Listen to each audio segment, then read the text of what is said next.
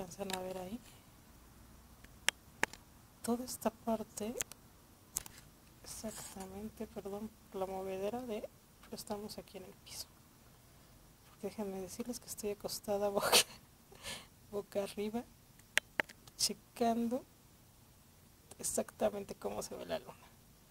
Es que si mañana me escuchan ahí con toda la garganta media eh, ronquita ya saben por qué.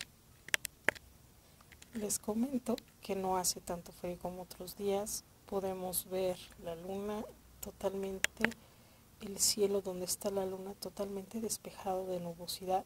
Al contrario, se están yendo hacia el lado derecho. A mi lado derecho que sería, estamos hacia el centro. No, estoy hablando que estamos aquí por Secretaría de Marina.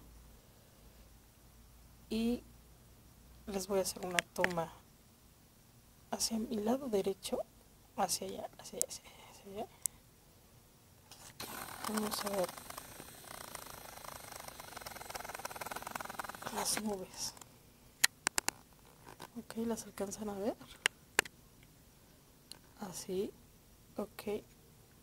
Hacia el lado, hacia arriba de lo que sería la luna ahorita vamos a llegar hacia el zócalo para que más o menos estén dando ustedes una idea de lo que está pasando.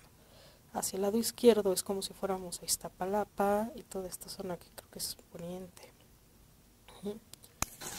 Pero seguimos con nuestra bella luna y un acercamiento.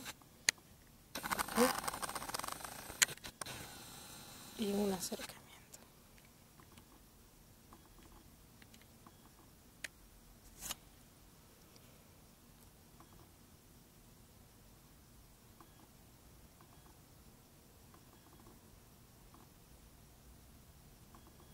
Bueno, la verdad les estaba comentando.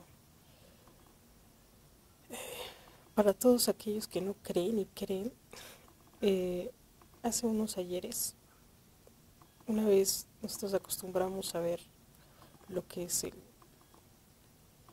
el cielo y a través de, de cielos antiguos que dependiendo de dónde nacía año nuevo o año se iba el año viejo, es como iba a ser un año mejor de abundancia, un año feo o malo, ¿no?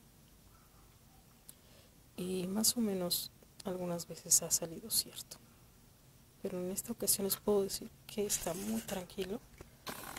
Sí se nota un cambio bastante impresionante aquí. Todo oscuro. Todo oscuro, si ven.